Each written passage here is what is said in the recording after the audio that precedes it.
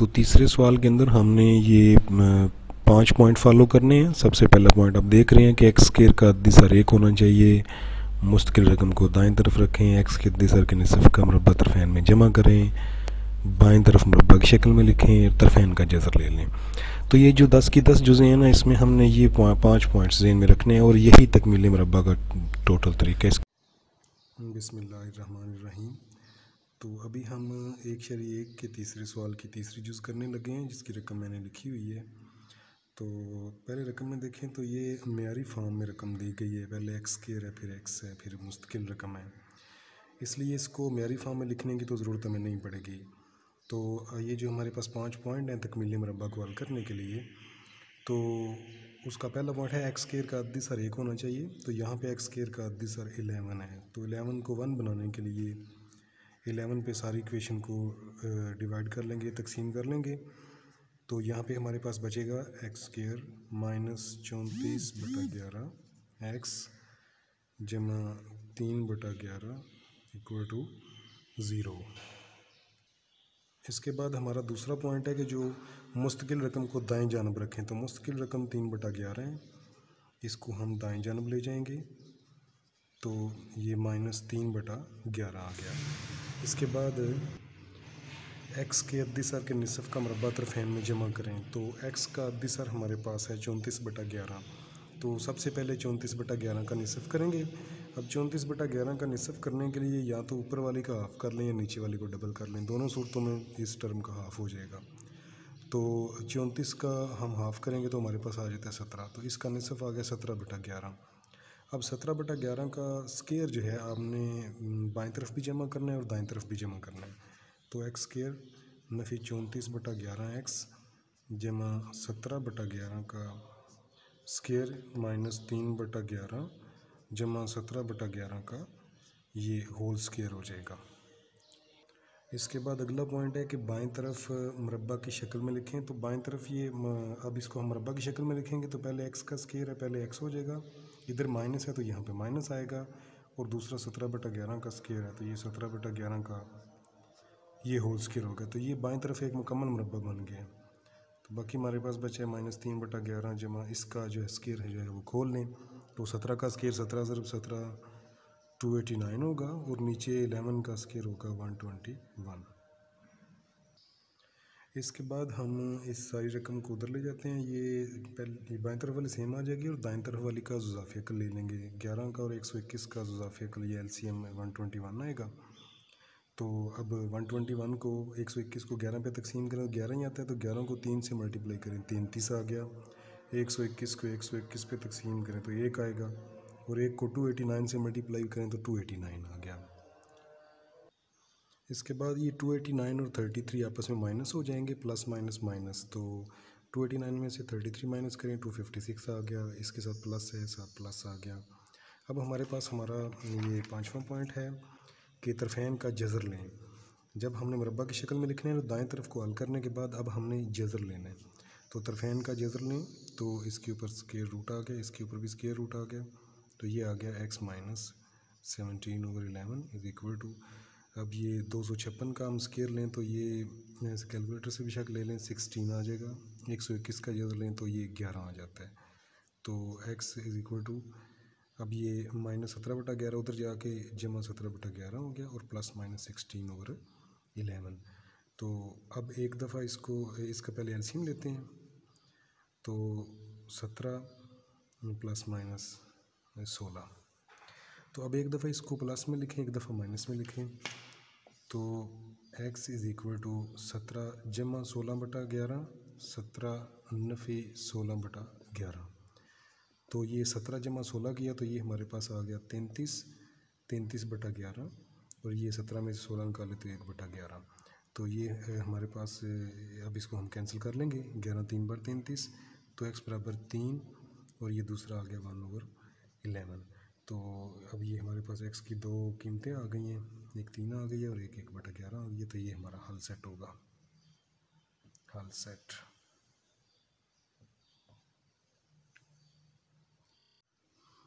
तो अब हम तीसरे सवाल की चौथी जूस देखते हैं। एल एक्स केयर जमा एम एक्स जमा n is equal to zero तो सबसे पहले एक्स स्केयर का अद्दी एक होना चाहिए तो एक्स स्केयर का अद्दी एल है तो इसको एल पे डिवाइड करें।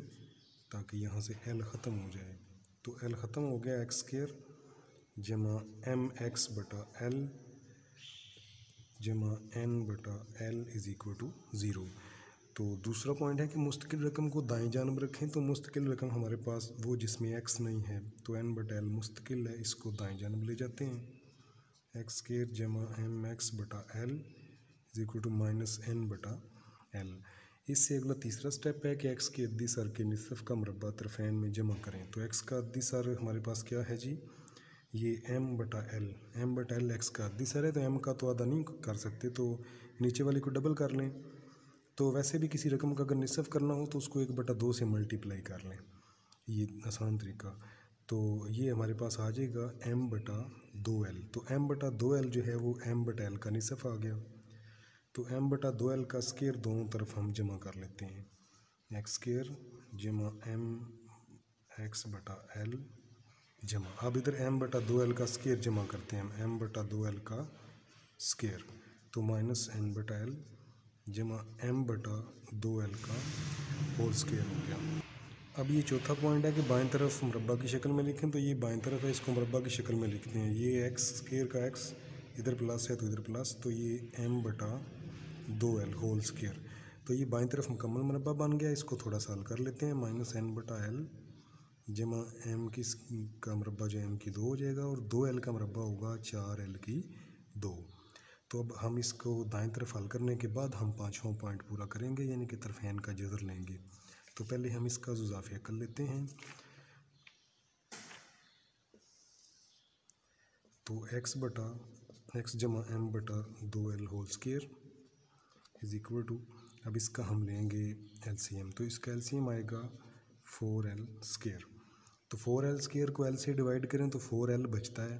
तो फोर एल को ऊपर एन से मल्टीप्लाई करें तो बचेगा minus four l n four l square को फोर एल स्केयर से डिवाइड करें तो वन बचेगा और वन को एन स्केयर से मल्टीप्लाई करें तो ऊपर बचेगा एम स्केयर अब इसको हम अरेंज तरतीब इसकी दे को दे लेते हैं।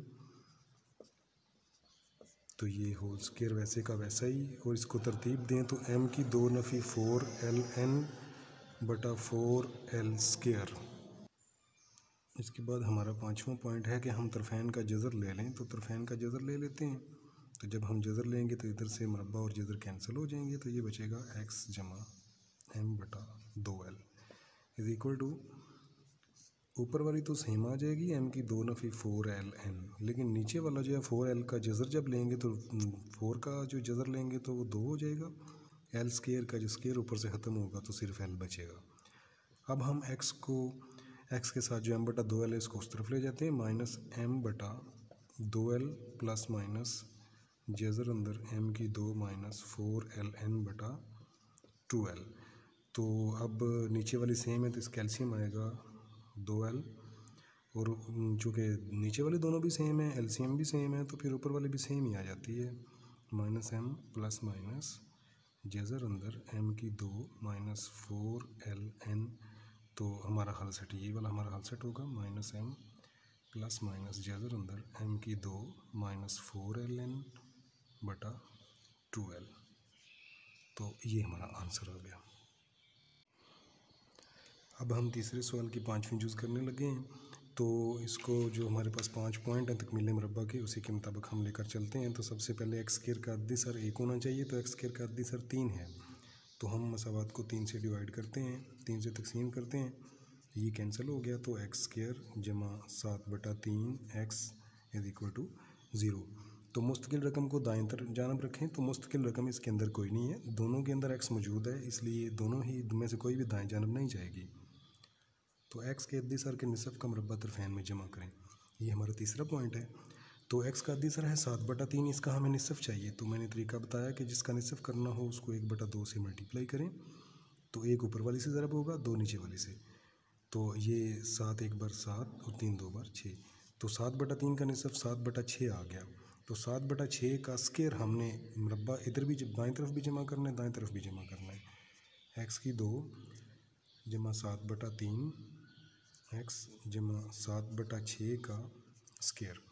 तो सात बटा छः का स्केयर बाएँ तरफ़ जमा हो गया, इसी तरह इसको दाएँ तरफ़ भी जमा कर लें, सात बटा छः का स्केयर हो गया। अब ये इसके बाद चौथा पॉइंट है कि बाएँ तरफ़ मुरबा की शक्ल में लिखें तो ये बाएँ तरफ़ मुकम्मल मुरबा बन चुका है। तो एक्स, और जहाँ पे जमा है तो यहाँ पे जमा तो ये सात बटा छः, ये होल स्केयर। तो बाएँ तरफ़ मुरबा की शक्ल में लिख लिया, दाएँ तरफ़ को हम हल कर लेते हैं। तो ज़ीरो जमा सात का जो है वो मुरबा खोलें तो उनचास हो जाएगा और छः का छत्तीस हो जाएगा। तो तो अब हमने ये उनचास बटा छत्तीस को ज़ीरो में जमा किया तो वो उनचास बटा छत्तीस आ गया। अब हमारा पाँचवा पॉइंट है कि तरफैन का जज़र ले लें तो हम जज़र ले लेते हैं तरफैन का। ये मरबा जज़र आपस में कैंसिल हो गए। तो यहाँ पे बचा एक्स जमा सात बटा छः is equal to plus minus तो उनचास का जज़र होगा सात और छत्तीस का जज़र होगा छः। तो ये नफ़ी सात बटा छः को उस तरफ़ ले जाएँ। जमा सात बटा छः, इधर जाकर नफ़ी सात बटा छः हो गया, प्लस माइनस सात बटा छः। तो x इज़ इक्वल टू ये छः बच गया। तो अब नफ़ी सात और जमा नफ़ी सात। तो अब हम ऐसा करेंगे कि इसको एक दफ़ा माइनस सात, जमा सात बटा छः करते हैं और दूसरी दफ़ा माइनस सात माइनस सात बटा छः करते हैं। तो x इज़ इक्वल टू तो नफ़ी सात, जमा सात कैंसिल हो गए तो ये ज़ीरो बटा छः बच गया। तो नफ़ी सात नफ़ी सात हो गया, नफ़ी चौदह बटा छः हो गया। तो इसको कैंसिल करें, तीन से तो नहीं, दो से कैंसिल करेंगे, दो सात बार चौदह, दो तीन बार छः x is equal to zero बटा छः तो ज़ीरो हो गया। और ये आ गया नफ़ी सात बटा तीन। तो ये एक्स की दो वैल्यू आ गई और हमारे पास हमारा हाल सेट आ चुका है। और इसको हम बोलेंगे हाल सेट तो ये तीसरे सवाल की छठी जूज़ है। इसमें भी हम वही तकमील मरबा वाले पॉइंट्स जो हैं उनको फॉलो करेंगे। सबसे पहला पॉइंट है कि एक्स केयर का अद्दी सर एक होना चाहिए। तो एक्स केयर के पीछे कुछ भी नहीं, इसका अद्दी सर वैसे ही एक है। दूसरा पॉइंट है कि मुस्तकिल रकम को दाएँ जानब रखें तो इसके अंदर मुस्तकिल रकम ये वन नाइन्टी फाइव है। इसको हम दाएँ तरफ़ ले आते हैं। एक्स की दो नफ़ी दो एक्स और ये बराबर आ जाएगा वन नाइन्टी फाइव एक सौ पचानवे आ गया। तो अब तीसरा पॉइंट है हमारा कि एक्स के अद्दी सर के निसफ़ का मरबा तरफेन में जमा करें। तो एक्स का अद्दी सर दो है और दो का निसफ क्या होता है? एक। अब एक का मरबा दोनों तरफ़ जमा करेंगे। तो ये हमने एक का मरबा दोनों तरफ़ जमा कर दिया। अब चौथा पॉइंट है कि बाएँ तरफ़ मरबा की शक्ल में लिखें तो बाएँ तरफ़ मरबा की शक्ल में लिखते हैं एक्स स्केयर है तो एक्स आ गया, इधर माइनस है तो माइनस आ गया, इधर एक तो एक, ये एक्स माइनस एक का होल स्केयर हो गया, और इधर वन नाइन्टी फाइव प्लस ये एक का स्केयर एक ही आएगा। तो अब आखिरी पाँचवा पॉइंट है कि तरफेन का जज़र ले लें, अब हम तरफेन का जज़र ले लेते हैं इधर ही तो ये तरफेन का जज़र लिया, इधर से मरबा जज़र कैंसिल हो गया एक्स नफ़ी एक बचा। तो एक सौ पचानवे जमा एक एक सौ छियानवे हो गया, इसका जज़र आ गया। तो एक्स नफ़ी एक बराबर, अब एक सौ छियानवे का जज़र लें कैलकुलेटर से हम ले लेते हैं तो एक सौ छियानवे का जज़र आ जाएगा चौदह। तो एक्स जज़र लेने के बाद हम साथ प्लस माइनस लगा देते हैं। तो x is equal to minus one इधर आके प्लस वन हो गया और एक जमा नफ़ी चौदह हो गया। इसके बाद यहाँ पे एक्स बचेगा, बराबर अब इसको एक दफ़ा जमा लिखते हैं, एक जमा चौदह और दूसरी दफ़ा माइनस करके लिखते हैं, एक नफ़ी चौदह। तो ये चौदह जमा एक, ये पंद्रह आ गया और ये नफ़ी तेरह आ गया। था अब हमारे पास हाल सेट आ चुका है, पंद्रह माइनस तेरह। ये हमारा हाल सेट है।